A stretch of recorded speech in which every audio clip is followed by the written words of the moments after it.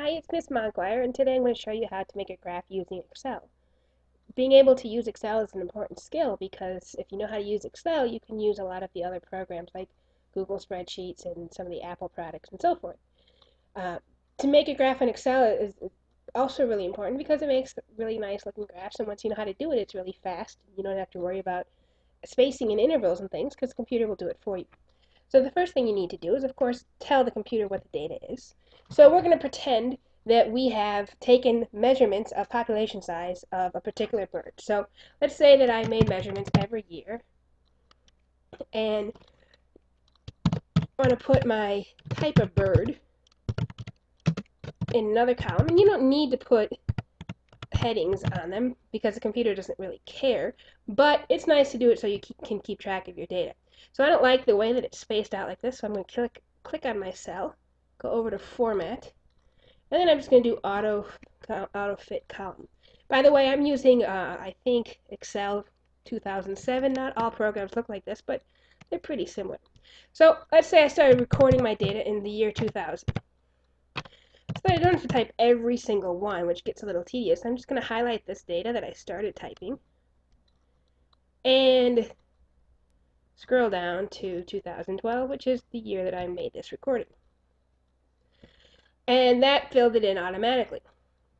And then I'm going to put in some fiction, uh, fictitious data.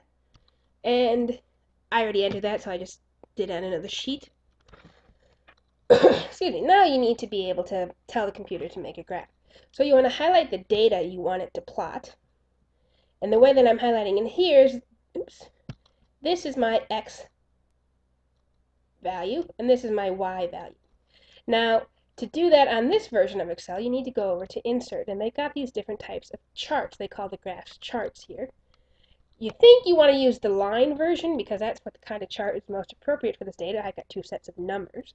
But for some reason, Excel calls that kind of data a scatter chart. So we're going to click on scatter, and I like to have the, the data points plotted out.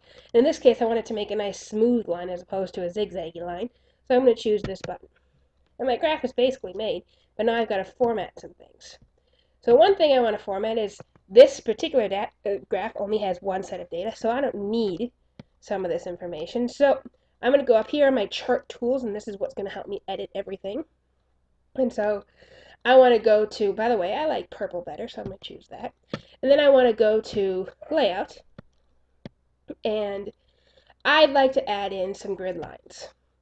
So I like to add in some vertical ones because there aren't any yet. And I'm going to do, let's see what minor ones look like.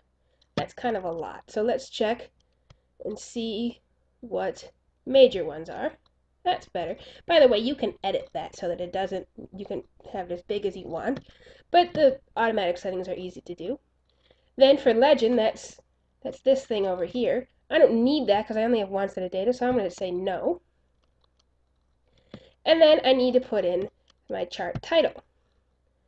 And I'd like it chart, oh, I don't want overlay, I'd like it to be above the chart. And I'm going to say that this is the population,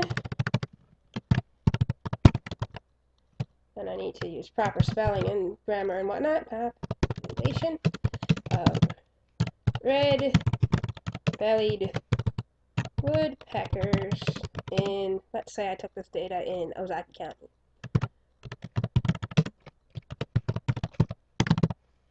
Okay, and then I need to have axis titles.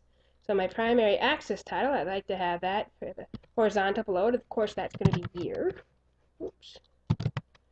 And then I need to have axis title for my vertical data. And that's going to be, let's make that um, number of individuals.